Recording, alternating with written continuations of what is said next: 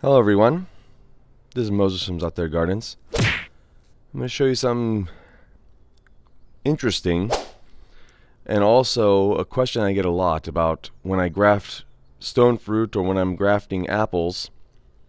I would always get a question, does it change the flavor of that apple? So let's say I put a Fuji onto a Granny Smith. Does a Fuji taste a little more sour? Or something in that nature? Or does everything ripen the same time? Or do they ripen in succession? I'm going to show you something pretty interesting right now that I thought is worthy of sharing. So right here, I have my Pink Lady apple, which I have grafted a Honeycrisp, a Granny Smith, and I had a Fuji here. It broke when I was pruning my trees.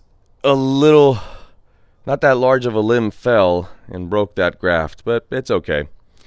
So like i said this main tree is a pink lady or crisp pink. I believe they're the same name or same apple. But you could see here that the pink lady has come out of dormancy. Finally.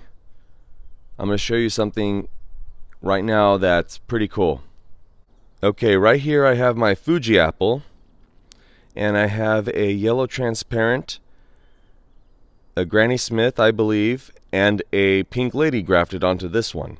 The Pink Lady is grafted right here. You can see the graft right here. And you can see that it has come out of dormancy just like its own mother tree. While the Fuji is still in dormancy.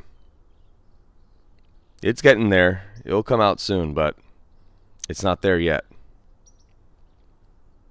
So with this, if you graft, the scion won't take on the characteristics of that tree. So if that scion wood grows much faster than the rootstock, so if this pink lady grows much faster than the Fuji, you're going to have huge growth over here while the Fuji is still a short tree.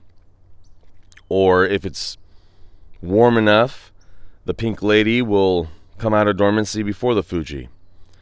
And the flavor will not be different in my experience. So this pink lady will taste exactly like the pink lady of its mother tree.